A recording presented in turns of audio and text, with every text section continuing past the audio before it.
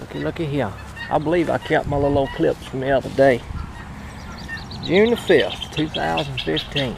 Flows over, people. Let me show you what I mean. Took them a while to get fired up, but here they are.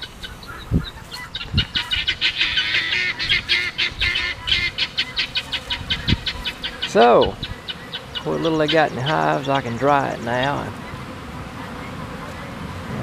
We'll let them dry it and, and pull it.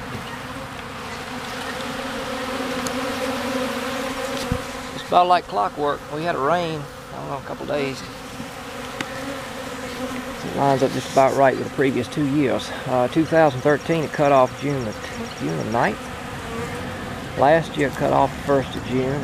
So we right on it. I'm gonna start feeding some of them.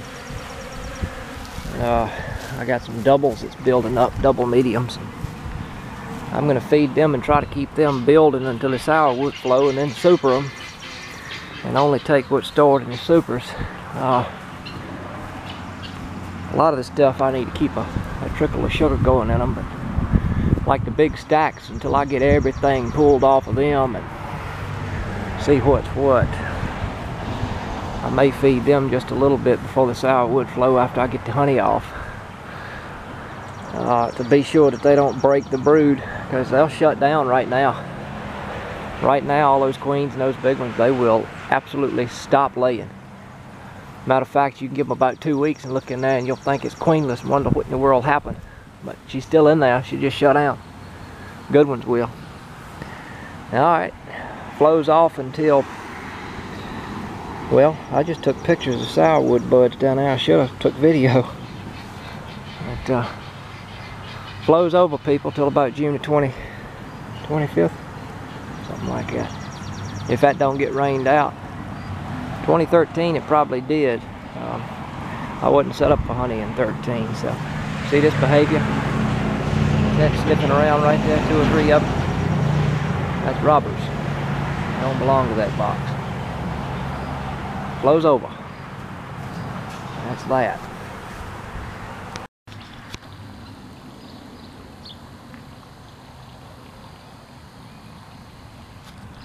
Well, a little sucker flew. I'll try to get a, a good video of him. I just about had him, then he took off. Little goldfinches don't sit still long. Any finch for that matter.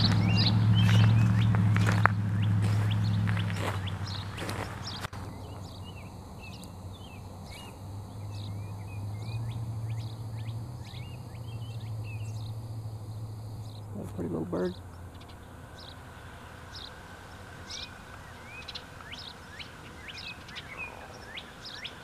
Must be a little 'em. Need to fix up Granddaddy's birdhouse. Oh, no one's setting up there. Wait a minute. Get it out of frame. They're about to rot and fall over. No flow, peoples. The flow is over for spring.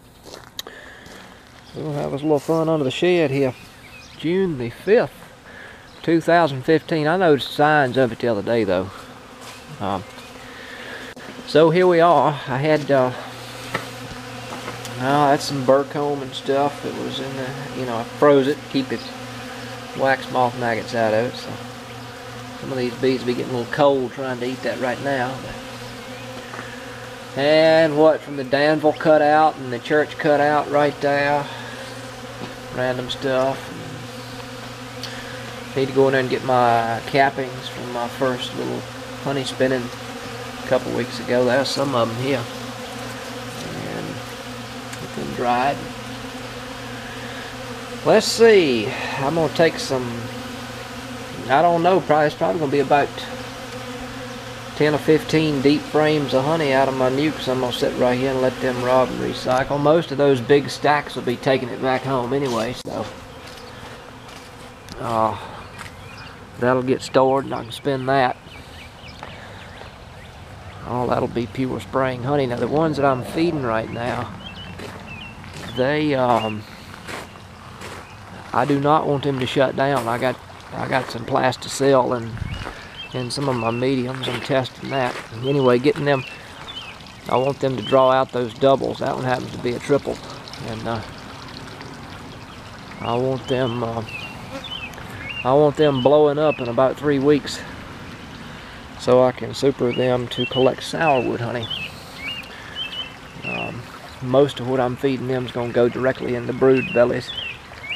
If you put a quart of 50% syrup on them twice a week, that uh, that essentially vaporizes into thin air. You don't hardly see it stored on a box uh, that size. I don't, never have. You got to really dump it to them to make them start. But yes, I need to get about 10 hives built up the sourwood flow. Give them about two supers of dry but drawn comb a piece. And, uh, that works good for that flow because it's a little it's a little mild but it lasts lasts a couple weeks or better and the drier the better surprisingly last year I could stick my hand all the way up to my wrist down in cracks in the yard out there where we've been driving a tractor across it and honey flow like a river so anywho spring flows over people time to tote some jars I reckon Yes, people, I do believe the flow is over. Pretty decent little indication of it. I got some bees out here this year too. You better well believe. Um, I bet a super capped honey wouldn't last. I bet they could have it dry in an hour. Because they just now figuring out this is here.